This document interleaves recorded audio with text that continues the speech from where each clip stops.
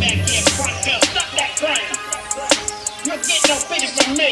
You think you're scared of some kind and mistaken?